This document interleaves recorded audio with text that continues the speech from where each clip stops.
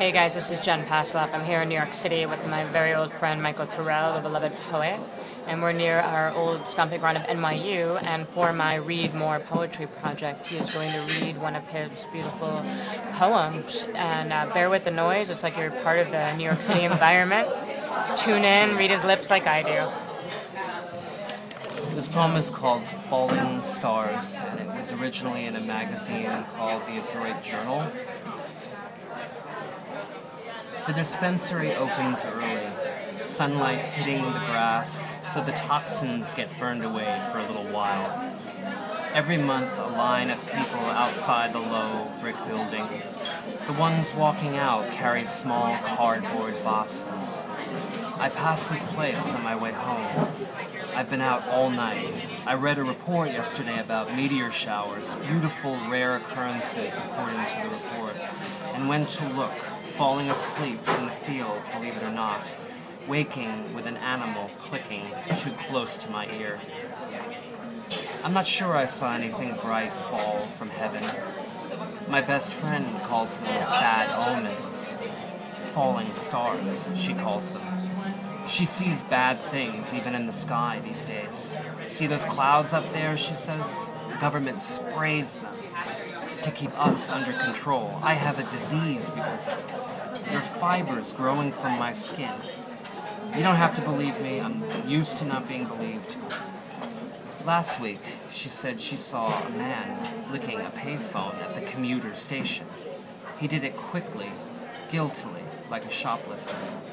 But when he was finished, he held his head high, as if this, by whatever design, was his lot and nobody else's.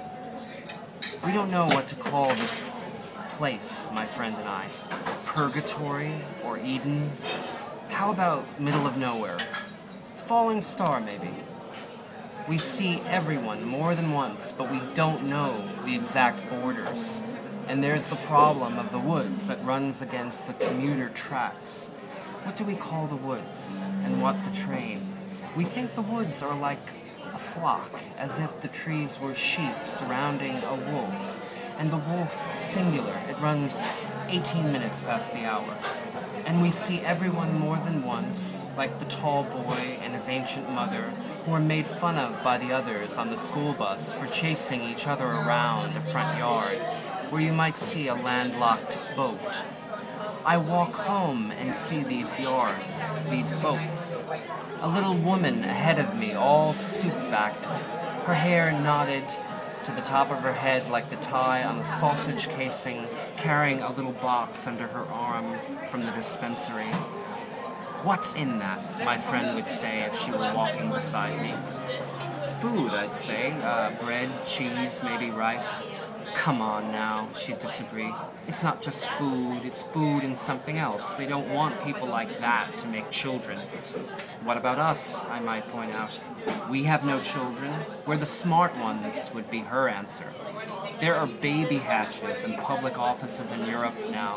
When you get too poor, you put the baby in, so the state claims it. My friend knows these things. She works at the hotel near the station. Every day she checks the world in, listens to its numerous complaints. Nights, she sends it room service. I'm the one with time on my hands. Even the busy little woman walking ahead has more destination. I could follow her, see how she opens the box, makes a day from what comes from the box. I go home. There's a mailbox in front, a tree, no boat, Maybe if I had a good mysterious disease like my friend, I could find a pen pal. I can't have a garden. I don't know my exact borders. Next door, a lot of trees, the remains of a house. Somehow a door always gets left, like the babies in my friend's stories. It might be easy to get in. Everything but the sky is locked up around here after dusk. The dispensary, the station, I wonder if anyone would. Such a baby would need luck. So many trees there and the roar of the train. The animals that click by dark, not the ones that click by day. I could keep the baby. My friend could warn it. Purgatory, middle of nowhere, Eden, falling star, together, what to call it. So beautiful. Thank you. Thank Um, you. tell us a little something about yourself. something about your fabulous self. Well, that poem was uh, based on a town where I grew up in Long Island, uh, sort of a one stoplight town.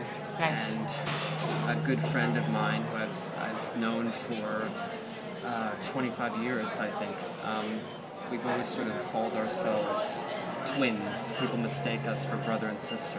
So it was. It's really like one of the first poems rooted in our, our growing up together in that place. So I'm, I'm really uh, honored to share it with you.